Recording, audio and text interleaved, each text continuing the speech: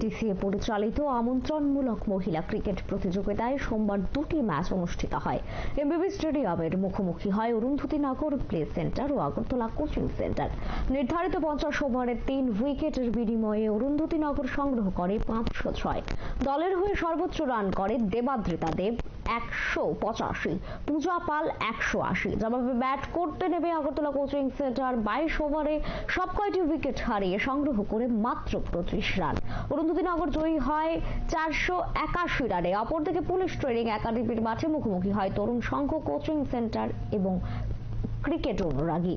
প্রথমে ব্যাট করতে নেমে তরুণ সংঘ কোচিং সেন্টার কুড়ি দশমিক চার ওভারে দশ উইকেট হারিয়ে সংগ্রহ করে মাত্র একুশ রান। ক্রিকেট অনুরাগী জবাবে ব্যাট করতে নেমে মাত্র দুই ওভারে কোনো উইকেট না হারিয়ে জয়ের জন্য প্রয়োজনীয় রান সংগ্রহ করে। দশ উইকেটে জয়ী হয় ক্রিকেট অনুরাগী।